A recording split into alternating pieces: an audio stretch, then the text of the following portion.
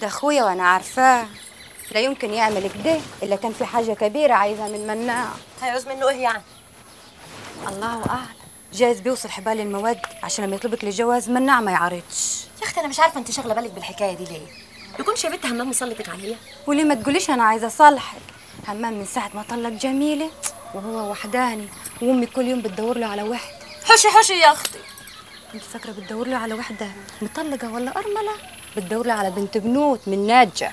طب يلا روحي روحي دوري مع عمك يلا. فوتيني يا أختي الحالي أنا مش عايزة أتجوز.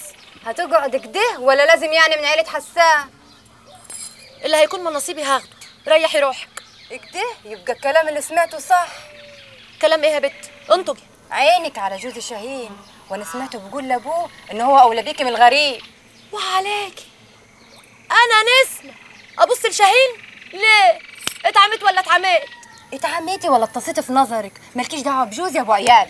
مخك فوت اياك يا بت اتاريكي عمالة تزني على راسي خايفة على روحك. لا يا أختي اطمني ريحي روحك يا أختي.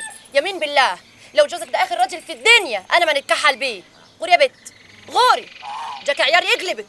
يا عيني يا عينية يا خاينة يا ردية أرسرسك برصاص. وارميكي في البحر الغواص.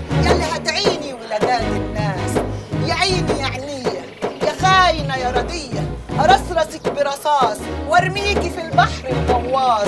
يلي هتعيني ولادات الناس من عين البندرية ومن عين العبايدة ومن عين كل من شافك ولا صلاش على النبي. عليه الصلاة والسلام. كفاية عادي وجيدة. خلينا نعرف ونتكلم كلمتين مع بعض. خلاص يلا طلع هي فرحة الولد النهاردة شوي. ده بيجي ملك. عقبال كده يا رب ما يبقى عمدة ويحقق كل اللي ما قدرش أبوه يحقق هطلع ابخر فاطمة صدقت يما آه. أنا لو كنت خفير مع عيني الحكومة أحسن عندي من أن أكون ملك مع عينين الخواجات. قصدك إيه يا ولد أخوي؟ هي حكاية الملك دي مش عاجباك ولا إيه؟ يا راجل بس كلام فاضي. هو في مملكة في بلد ليها حكومة. أمال رضيت بيها ليه؟ باخد الناس على قد عقلهم لحد ما اوحدهم ويطوعوني ويسمعوا كلامي وبعدين نشوف كيف نطلع من المطب ده. لا. وعيني يا ولد أخوي ما تسيبنيش اتيه زي الأطرش في الزفة. هقول لك يا عمي بس الكلام ده يفضل سر بيننا وما تطلعوش الجنس مخلوق. قول. يا غالي يا ولد الغالي سامحك. معقول يا عم تصدق ان نرجع أزرع مخدرات تاني بعد ما ربنا كرمنا وتاب علينا؟ امال كل اللي بتعمله ده إيه؟ مجاري الخواجات. لحد ما نخلص منهم ومن جرفهم ومن خنقتهم ليا وتهديدهم. هنروح في يدهم. ولو ما كنت سمعت كلامهم كان زمان الحكومة بتدور عليا مصادرة كل أملاكي. حتى الأرض الجديدة اللي ببنيها للمستقبل كانت اتصادرت. الأرض الجديدة اللي هنبني فيها بيوتنا؟ كل حاجة باسمي هتصدرها الحكومة. عرفت ليه يا عم أنا مغصوب أطوعهم وكيف هنأمن شرهم يا ولدي؟ هيتنهم وراك أنا قدرت أسحب شوية أوراق وأقطعهم والباقي تحت يد الخواجة زفت بني. أنا اشترطت عليه ما سلموش المخدرات إلا لما يسلمني الورق. على أساس إن إحنا بنشتغل مع بعض بحرية. هو معقول يعني هيسلمهولك بالسهل؟ كده عارف إنه غدار وخاين وابن كلب وعارف إنه مش هينفذ. عشان كده برتب له ترتيبة تانية خالص. ترتيبة تخلصني منه من غير ملامة. أيوه. يبقى هتسلم المخدرات وتبلغ عنه الحكومة. لا. هضربه من حتة ما تخطرش على باله. وبعون الله هتكون ضربة قاضية. ما دام السوق محتاج كميات كبيرة مفيش مانع. نزود كمية المواشي المستوردة. بس يا رب تكون في رعاية كافية ليها. أكيد. مدير المزرعة مش هيطلب أكتر من احتياجاته تاني. أتمنى تخميناتي تطلع صح وتتباع. أهو كده يبقى مفيش مشكلة تاني. تقدري حضرتك تروحي علشان الولاد وأنا هقوم باللازم. ما دام أمي وأبوي معاهم. ما بجلكش لا مؤاخذة. هو أخبار مناع بيه إيه؟ غيبته طولت جو المرة دي. بقاله شهر. وحتى مكالماته اتقطعت. مش عارفة اتصل بيه. ربنا يطمنك عليه.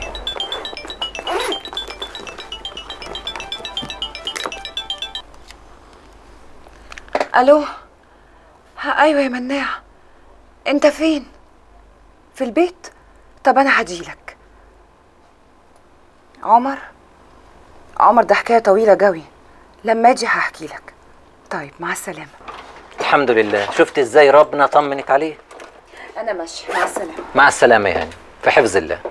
خلاص خلاص خلاص حرمت. مش هسافر تاني. كل مرة بتقول حرمت وبتسافر تاني. هي سفرية واحدة وبس.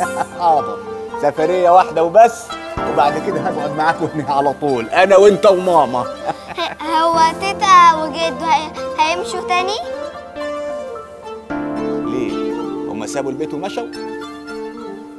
يا ساتر يا رب أنتوا ما بيتبلش في بوجكم كفولة يلا يا ولاد روحوا الجنينة العبوا مع الواد حصاوي يلا ما قلتليش يعني لما رجعت إن أبوك وأمك مشوا وسابوا البيت أبويا عارف كل حاجة عنك يا مناع من المشكلة اللي حصلت وهي إيه المشكلة اللي حصلت؟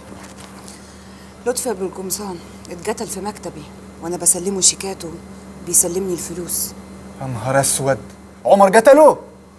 كانت غلطة كبيرة مني إني قلت له ان هو عندي موجود في المكتب فجأة تهجم علينا وما هموش حد وحاول يقتل لطفي حاول يقتله لكن ما قتلوش ها؟ حد من عيلة لطفي جه يضرب عمر بالرصاص جت في لطفي فمات. أمال عمر فين دلوك؟ عمر عمر حكايته حكاية.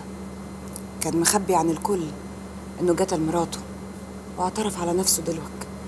ومستني الإعدام. كانش عندي أمل أعيش عشانه. والانتقام لشرفي.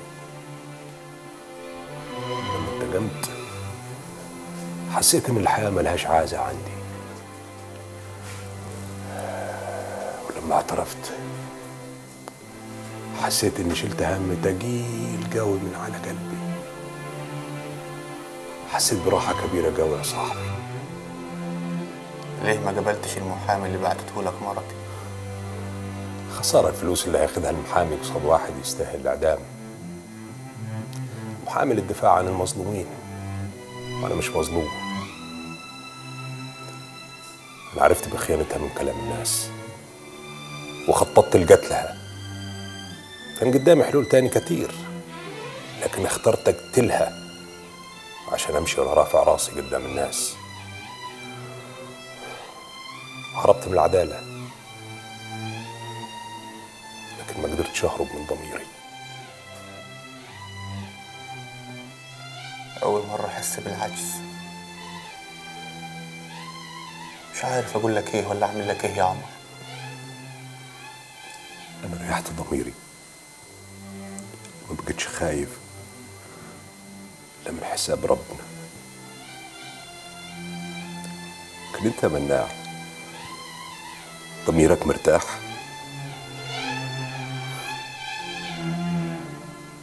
تصدقني لو قلت لك إنه مفيش حاجة بعملها إلا لو ضميري مرتاح. بتضحك على روحك. ضميرك مات يا صاحبي. يا مناع اديني حضنك. يومك تشيل عذاب ناسك تشيل عذاب ناسك.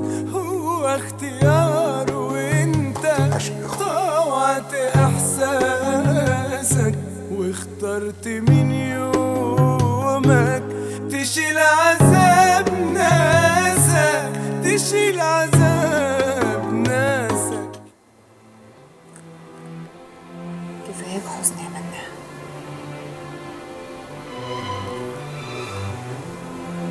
الإحساس بالذنب بقى يقتلني. عمر ساعدني بكل إخلاص. سد الفراغ اللي أنا سيبته في عيلتي. أنا طلقت من أختي. وأصريت يرحل. هو كده مرتاح أكتر. شال هم كبير قوي من على قلبه. كفاية إحساسه بالذنب. ذنب. ذنب إيه؟ كان بينتقم شرفه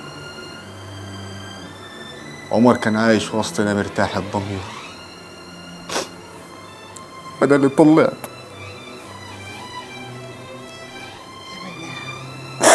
لو ما كانش طلق أختك كان هيفضل بينكم. ويا ترى أنت خليته يطلقها ليه؟ ربنا يرحمه ويسامحه. روك يا حبيبي. روك.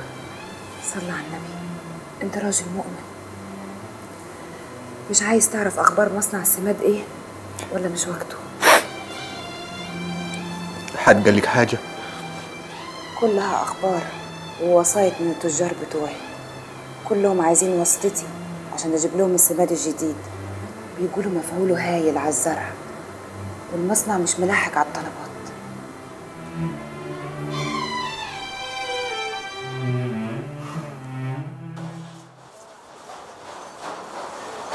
بس بقى. أوه.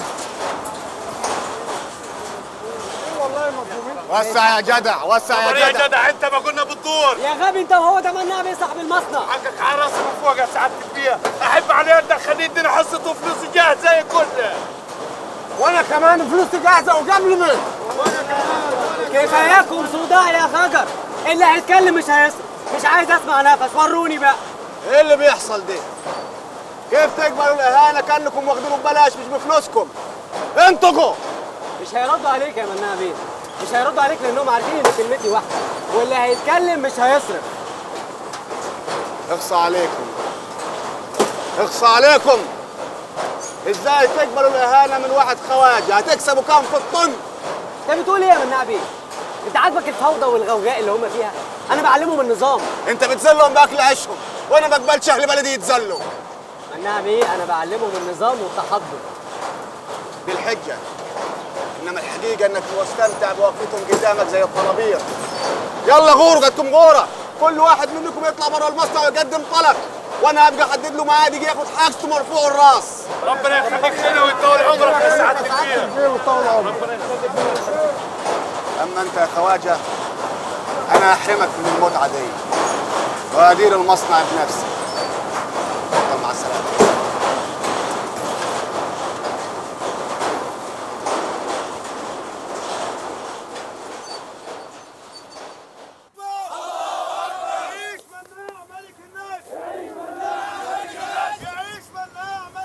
برافو يا ستيف. تصوير هايل. أجمل اللحظات بقى لحظات التتويج. وإقامة مملكة المخدرات في مصر أصبحت أمر واقع. المهم يا بروفيسور إن أهل النجع كلهم سلموا بوجودنا في وسطيهم واعتبرونا منهم. وأصحاب الكلمة عليهم كمان. الكل عايزين يكسبوا رضانا خاصة لما شافوا بعينهم السلاح اللي إحنا جبناه للنجع. المهم عايزين البيت ده يخلص ويبقى شبه بيت حسان أو البنداري. ليه يا بروفيسور؟ انت ناوي تقعد هناك على طول ولا إيه؟ عشان تحكم النجع ويبقى لك هيبة لازم يبقى بيتك زي بيت الكبير بتاعهم. ده رودي بيكلمني من سوهاج بيعمل شغل حلو قوي. إيه يا رودي أخبارك يا حبيبي؟ للأسف يا بروف أخباري مش حلوة مناع بيه طردني من إدارة المصنع. ولا يهمك. سيبه يقعد مكانك يومين. هيلاقي نفسه بيعمل اللي انت بتعمله. وهيفهم إنهم هم بيحبوا يتذلوا. أنا لو بعدت مناع ممكن يتدخل في شغل الخبراء الأجانب بتوعنا. مستحيل حد هيقول له أي حاجة. كل اللي هيعرف يعمله إنه هيقف ينظم طوابير تجار اللي كل واحد فيهم هيموت على حصه سماد. برضه وجودي بعيد عن المصنع في وجود مناع خطر ما تستهونش بيه. هديله فرصة أسبوعين يلف حوالين نفسه قبل ما اتصل بيه وأمره يرجعك حسب بنود العقد. يعني اطمن من ناحيته؟ اطمن خالص. مناع هو اللي في إيدينا مش إحنا اللي في إيده. سيبه يدوق شوية وأتحدى إنه يمسك علينا أي غلطة. هقول إيه؟ okay يا prof. بس لو سمحت أنا عايزه هو اللي يجيني لغايه عندي ويتحايل عليا عشان أرجع مكتبي تاني. أوعدك يا رودي هيحصل. okay يا prof. bye.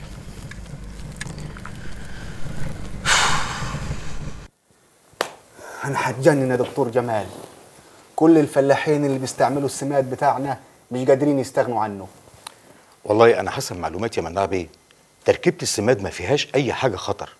وحتى المواد اللي بيخلطوها كلها مفيدة جدا للزرع. وكمان بتزود نسبة امتصاص الجذور للسماد. لا. قلبي حاسس إنه في حاجة غلط. الناس دي ما يجيش من وراها خير ابدا.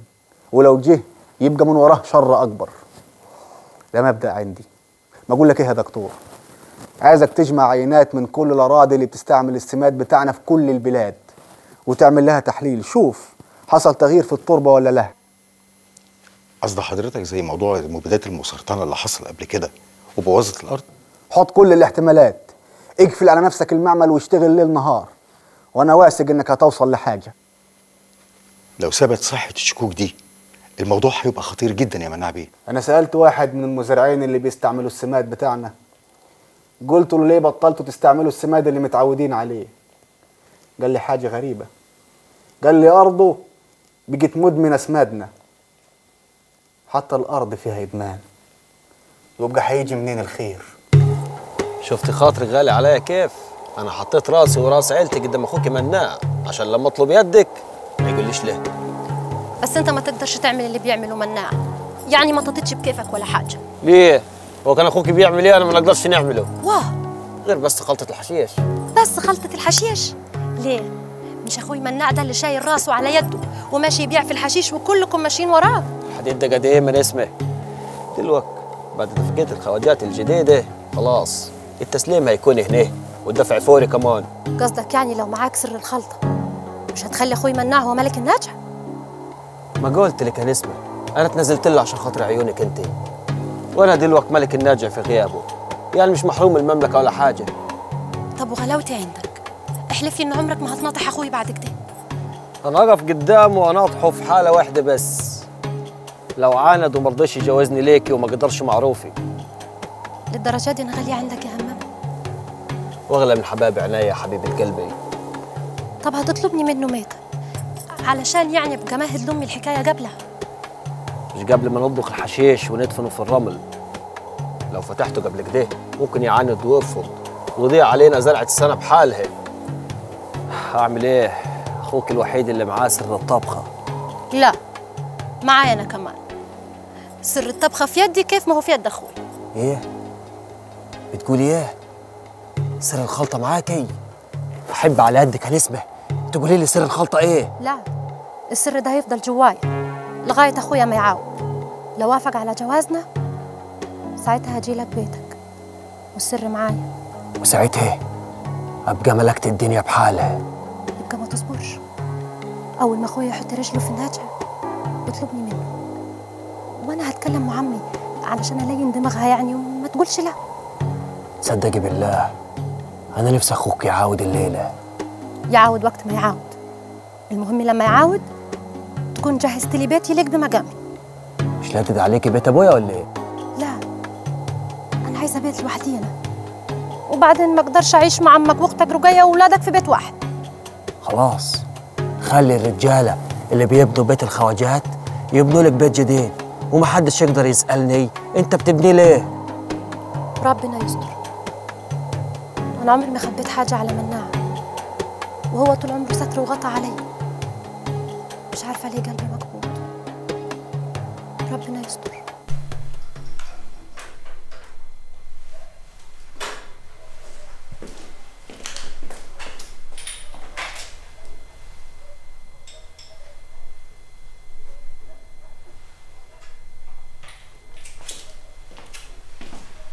انت معاك إيه يا دكتور جمال. أنت كل يوم كده تروحني بعد نص الليل. مناع بيه قال لك تتزرع هنا جنبي. عايز تمشي مع السلامة. تبقى أنت عايز تقطع عيشي أوه. خليني بقى أركز. روح افتح وما تدخلش حد لما أقول لك.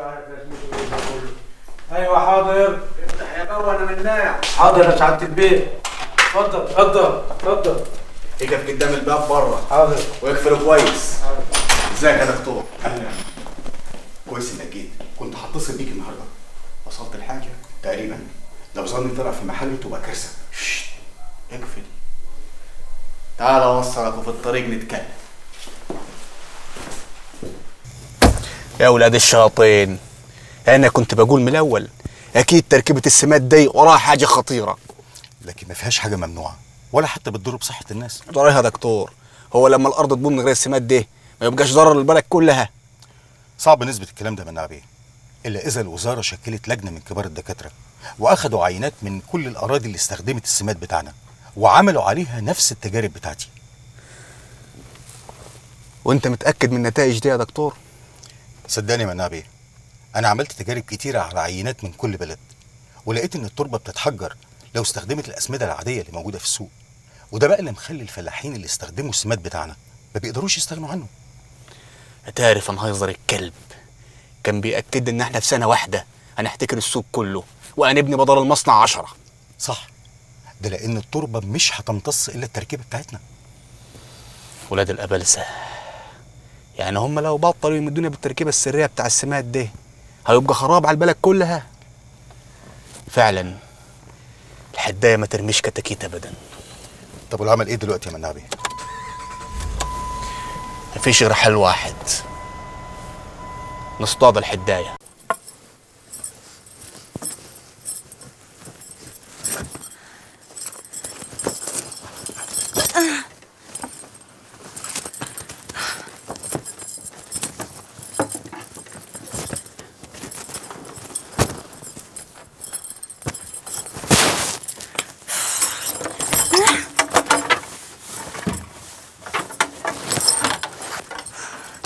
خفاها فين خفاها فين بس يا ربي خفاها فين خفاها فين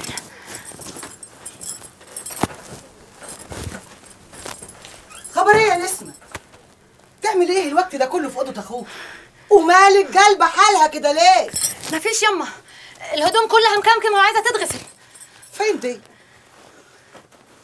ما الهدوم ريحتها زي الفل اهي. والله شكلك بتدعبسي على حاجة يا بنت حسان. واه يما بقى أنا فيها العادة العفشة دي. طب يلا يا أختي. يلا رجعي كل حاجة مطرحها يلا بلاش خوتة وجع دماغ.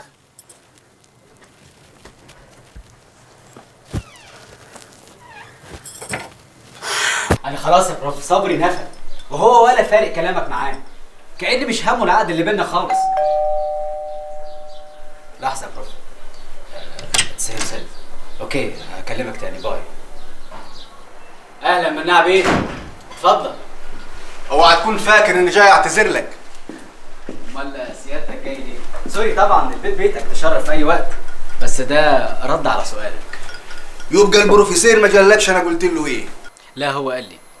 قال لي إن كان في عقد بينك وبينه وسيادتك تقريبا خالفت بنوده مش كده؟ وهو من بنود العقد برضك انه وافق على موظف مفروض عليا. وأسيبه يهين العملاء زي ما هو عايز. شوف سيادتك العقد اللي بيني وبين البروفيسور بيقول إني أمثله شخصيا في إدارة المصنع وان اشرف على طقم الخبراء الأجانب بالكامل. يبقى ترجع شغلك وتنفذ العقد بتاعك زي ما هو مكتوب. سيبك من موضوع العملاء أنا حطيت نظام يريحك منيهم. أوكي. بس المكتب اللي انت طردتني منه ده مكتبي أنا وأنا اتعودت اشتغل فيه لوحدي. ماشي. وأنا مش فاضي يا سيدي اسيبهولك بس لو بلغني انك اتدخلت في توزيع الحصص على التجار هرجع تاني واكرر اللي حصل. ساعتها يبقى حقي. بعد إذنك يا خواجة روجي. سلام.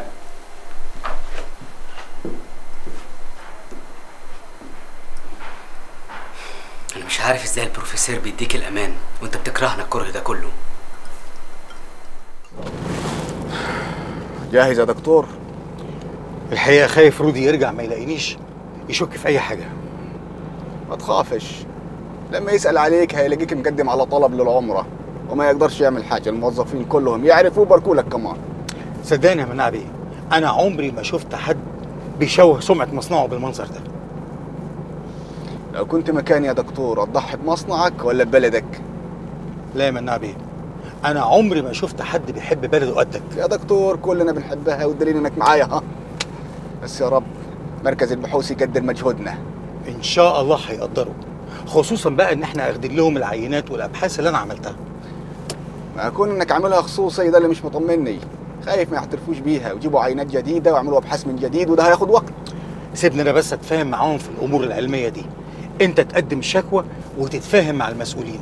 عشان لو حصل اي حاجة لا قدر الله انت تكون في الامان. إحنا نتوكل على الله. واللي جاد ربنا ولا هيكون. ده كلام خطير جدا يا مناع بيه. امال يتفسر بإيه يا بيه؟ حالة التربة اللي اتعودت على السماد بتاعنا. سيادتك أنا تعبت جدا في الأبحاث بتاعتي لغاية ما وصلت للنتائج ديت. وجبت معايا عينات من بلاد كتيرة استعملت السماد بتاعنا. عشان حضراتكم تتأكدوا بنفسكم إن التربة بتتحجر لو غيرنا لها السماد. بعد إذنك أنت هتفضل معانا يا دكتور جمال وهتبقى عضو في اللجنة اللي هشكلها للبحث. أنا بالنسبة لي موقفي حساس جدا في المصنع. يعني لينا شركاء أجانب ومش عايز حد يحس إني براقبه. في الحقيقة أنا شاكك فيهم من زمان رغم النجاح الكبير اللي محققه المصنع. والله يا بيه أنا بالنسبة لي كصاحب مصنع كسبت كتير. لكن يغور المكسب اللي يجي على حساب خراب الأرض اللي بتاكل الناس منها عيش. والله احيي فيك الروح الجميله دي يا مناع بيه. وأنا ههتم بنفسي بدراسة الموضوع. ربنا يكرم سيادتك. آه في حاجة تانية. السرية. السرية مهمة جدا. خواجه فيهزر والناس اللي معاه عينيهم مفنجله وفي كل مطرح في البلد. ده اتهام خطير يا مناع بيه. أنا هرد عليك في كلمة واحدة. ده قضية أمن قومي. ده كلام ما فيهوش هزار. مفيش مصلحة غير مصلحة البلد. ياه يعني خلاص. السر كله باقي في يدي. قلبت الدنيا على الدفتر الأسود. لحد ما عرفت هو دسه فين بس سبته مطرح. وسبتيه مطرحه ليه؟ سنين طويلة وزرعتي بتخيب. وفي الآخر يطلع السر كله في الدفتر الأسود.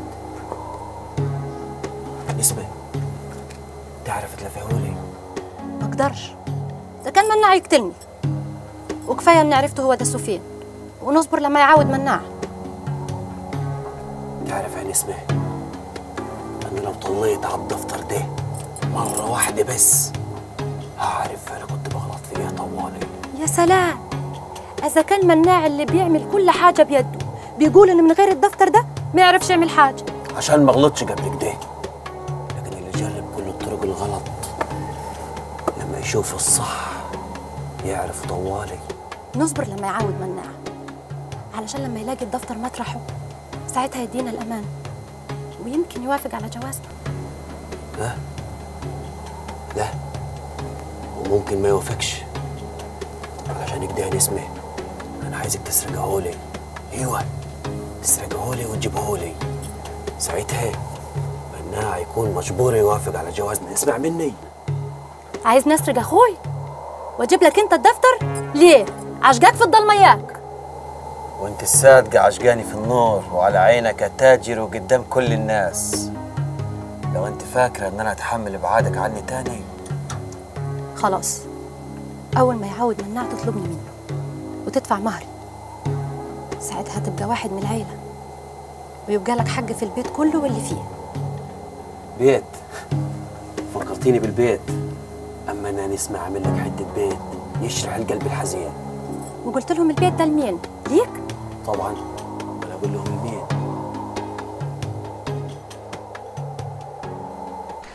موافقة على نص الكمية بس. عندنا طلبات كتير. وبالنسبة لمصنع المكرونة بلغ المدير العام إن في اجتماع يوم الاثنين الجاي لمراجعة الحسابات. اتفضل. ممكن جناب المديرة تروح ترتاح هبابة. وتهملني اقعد مطرحها.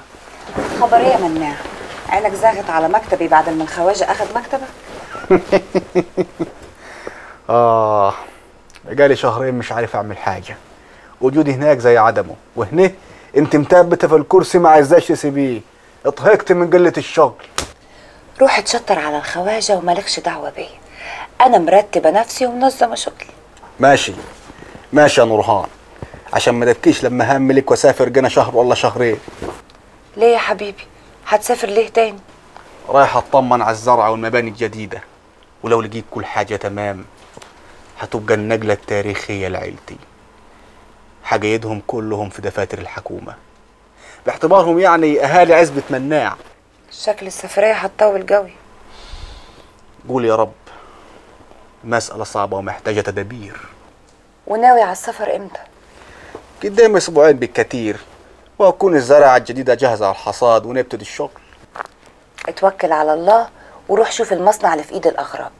أما بالنسبة لهنا أنا مسيطر على كل حاجة. انسى إنك تقعد على المكتب ده تاني. يا واد أنت مسيطر على كل حاجة. ريحت قلبي ربنا يوفقك. على رأي مناع ولد أخوي تغور المملكة اللي الأجانب يعملوك فيها ملك مش أهل بلدك. ديتها نعرف ساسنا من راسنا يا ناجي. وأهل النجع يتعودوا على طاعة الملك بتاعهم. وبعد كده هبقى أتفق أنا ومناع. نزعطهم من النجع ونبقى يد واحدة أنا وهو. ما بيدكم تتحدوا من غير خواجات ولا لازم يجي الأمر من الأغراب آه يا بلد. كل حاجة وليها أوان يا أبو بكري قول لي هو مناع هيجي متى؟ عايزين نحصد محصول. عيدان الحشيش استوت. ولو استنينا أكتر من كده العيدان هتخوخ. مناع عارف هيجي ميته وهو اللي عارف المواعيد زين وأكيد هيجي من دول عايزينه ناجي لما يجي. يبقى يعلمنا كيف نطبخ الحشيش سوا أنا وأنت. عشان قعدتنا محتاسين كده عيبة في حقي وحقك. يا ترى بعد ما تعرف سر طبخة الحشيش هتقبل تفضل وزير زي ما انت همام. ولا هتطلع فيها وتقول يا أرض تهدم عليك جدي وتعمل فيها ملك جديد. ها؟ ما تبص ليش كده يا واد ماني عارفك زين ومش هينولك اللي في دماغك ابدا. للأسف يا دكتور أبحاثي كلها طلعت سليمة. السماد مدمر للتربة الزراعية. تقرير قدام سيادتك وفيه توصية سريعة بضرورة غلق المصنع وسحب تراخيص إنتاج السماد الصحي. دي كارثة. لازم أبلغ فيها النائب العام فورا.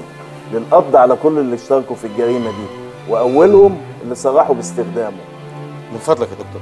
في بلاغك للنائب العام أرجوك تقول إن مناع بيه صاحب المصنع هو اللي اكتشف العيوب دي عشان تخلي مسؤوليته. دي شغل سيادة النائب العام لما يحقق في الكارثة دي. يعني إيه يا دكتور؟ يعني الراجل يضحي بمصنعه وبأرباحه عشان مصلحة البلد. ولما تكتشفوا إن هو عنده حق تتخلوا عنه. افهم يا دكتور جمال أنا في مصيبة. لازم أمنعها الأول. مش شغلتي أتهم فلان وبرع علان لما يطلبوني في التحقيق هقول اللي حصل. يا خسارة يا دكتور. بقى الراجل الوطني اللي بيخاف على مصلحة بلده وبيغير عليها يترمي في الأقسام ويتعامل معاملة المجرمين بالمنظر ده. وإحنا نستنى لغاية ما نثبت براءته. بقى ده برضه عدل يرضي ربنا. عايز إيه يا دكتور جمال؟ الحقيقة يا دكتور من بدايتها. يعني ما تقولش إن أنت اللي اكتشفت الكارثة. تقول إن مناع بيه هو اللي اكتشف الكارثة وبلغك بيها. وأنت اتأكدت من الكلام ده. صدقني يا دكتور هتفرق كتيرة جدا في معاملتهم لمناع بيه. كأننا بنعترف إن إحنا مش شايفين شغلنا صح. تحت أمر معاليك يا باشا. علم وسينفذ جات لنا موافقة بمحاصرة مصنع مناع للسماد والتحفظ على كل من فيه والقبض على جميع الخبراء الأجانب. اتحرك بسرعة.